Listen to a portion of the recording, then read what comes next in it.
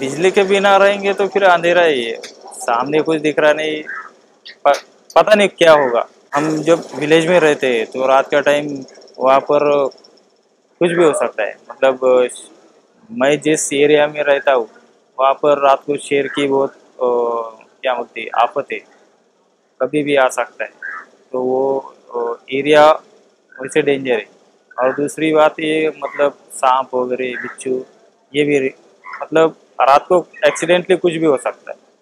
Solar lamp के बहुत सारे फ़ायदे जैसे कि बच्चों की पढ़ाई या दुकान में जाना है, या जब घर में लाइट नहीं रहती है तो माँ रसोई में भी वो यूज़ कर सकती है। खेत में जाना है टॉयलेट हो, जाना हो।